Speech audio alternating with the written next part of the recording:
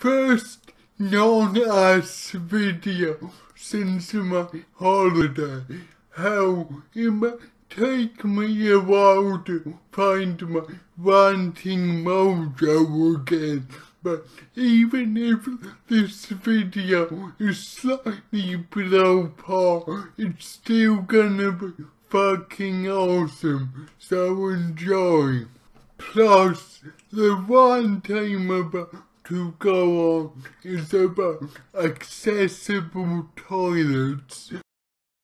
And I know how much everyone loves people talking about accessible toilets.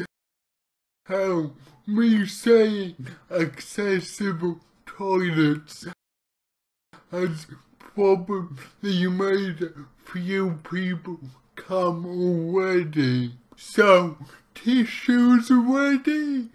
Okay, here we go.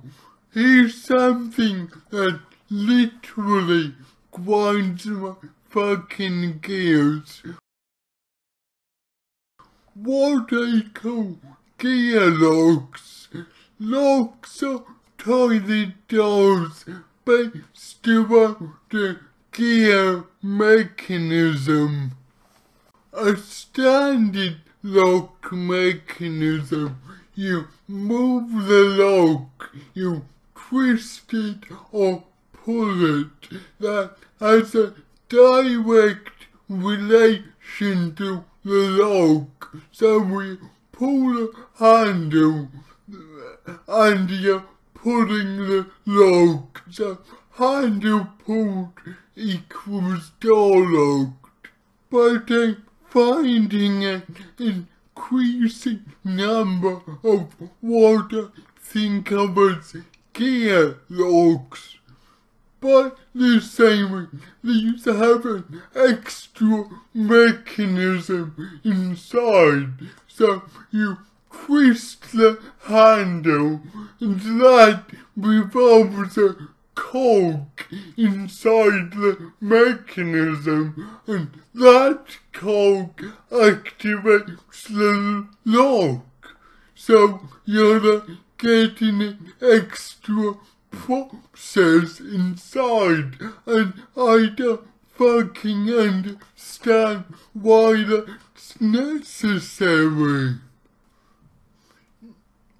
No, sorry, I do know why it's necessary to make sure nine times out of ten if someone with poor, clumsy hand control uses the toilet, that door won't be fucking locked.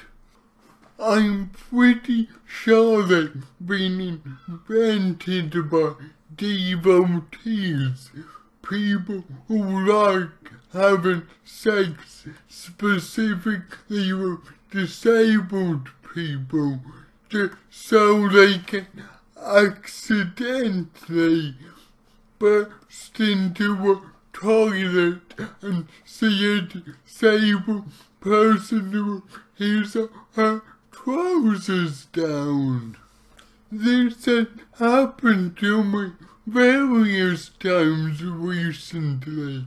I got into the toilet, shut the door, twisted the fucking thing, had to shit, got up to wipe my arse, and some poor fucker has walked in to see me wiping my shit-stained ass.